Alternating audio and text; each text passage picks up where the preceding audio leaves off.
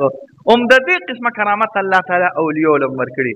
اوس ورته زه بیا یو ناشنا وغږوم او غږوم یې راته پرېږده چې دا وسوځي او خدای قلوب وسوځي حضرت فیض حضرت انور شاه کشمیري صاحب لیکلي دي د حضرت برکن الدین شاه عالم او د حضرت بهاءالدین ذکریا ملتانی سره متعلق چی تین سو ساټ کره ته قرآن شریف پی په شواروس کې ختمو د چا پلار دی اوسو منی اوس می بیا تیلی وته ورته که سم یو ته ورته کې تیلی تیلی می بیا ور واچو بس د صوبه سرحد نه دا غځې نه اوس لګیږي دا غځې پورې دا د وګدو ګیرو والا شیخان یو د وګدو ګیرو والا یو د علم مالک دا د اوږدو ګیرو والي شیشان به لګي او بیا مفتي صاحب بیا مفتي صاحب هغه دروغ وي ښاغلی د پلار لږه شه زه درته د کتاب حواله در کوم او ته هسې لګې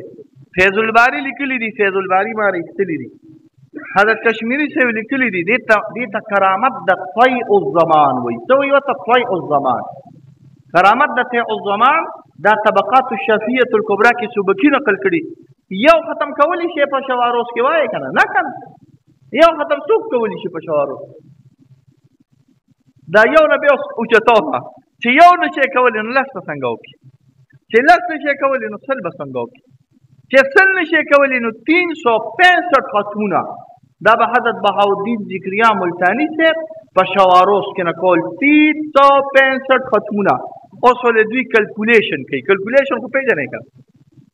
دا دا دا مټه خور زامن ولا کیلکولې وای چې دا یو ختم بل فرض په یو غنټه کې شو اس یو غنټه کې چرته 16 غنټه کې ختم کیږي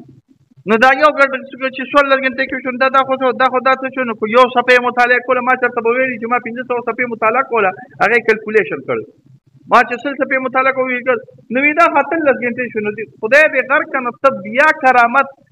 حرق العادت ته ویل کیږي څه ته ویل کیږي دماغي نل الکه دا پکې لا چا روتي چې موسی عليه السلام امسار واغستا او دغه له رويستا او کاني له رويستا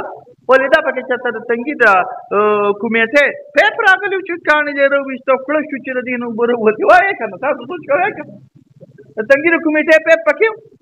یاره پېښور د کمیټه په پکې راغلی چې امسار رويستا کله شو بره راوالي په پکې نه نو په پکې راځي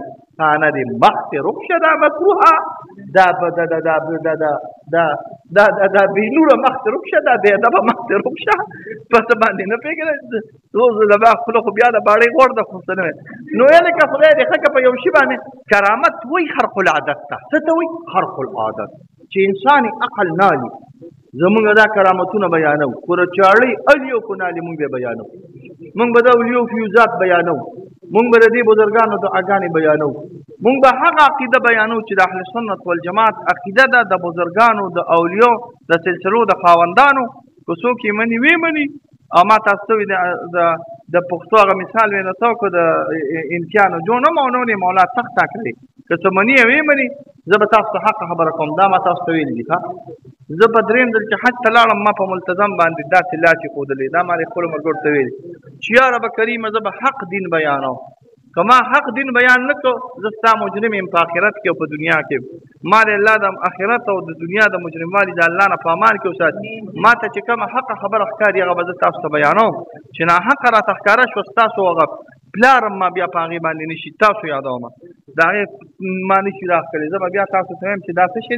نه حق ده د اولیو فیوزات برکات دعاګانې دا حق خبرې دي تبرکات دا حق خبرې راغلي دي زه به ان شاء الله تبرکات دا دعاګانې دا توجهات د اولیو د بزرګو د نیکانو د قران او د حدیث نه ثابتوم خو څوک یې مني ونې مني او خاص په ځان باندې نوم د اهل حدیث خو دلی دی اهل حدیث نه دی اهل حدث دی نو نه دی مني خپل کار راغلی دعا وکړئ یا رب کریم یا الله زموږ قلوب جاری ساری کی یا الله د تکلیفات او مصیبتونو نه په امان کې وساتي یا الله پاک رضوان جهان خیرونه او برکات کوم ټول راکړي یا د نن نه پس په دا باب نه چیړو ښه دا یاد سات پیږی کن دا شی لرنه کې دا اعلان لما وره چې د نن نه پس په جمعه کې دا باب د نه چیړو نور ولا اپریشن کوم هغه مې روز مقرر کړی دا په جمعه کې به دا باب نه چیړ هم که داسې اصلي د پاره دا مال یې مرچکې مې وي هغه خیر دی خو په جمعه کې مستقل دا بس موږ په خپل ځړې طریقې سره تقریرونه کوو چې د قرآن او د حدیث او د فقه او علماو اقوال به بیانو مستقل به ذات په ځل دوی نوم نه علمه او دستاربندې خپل شعر چې دستاربندو کې زه سویم هغه بیا ماته اجازه راغلی وصلی الله علی خیر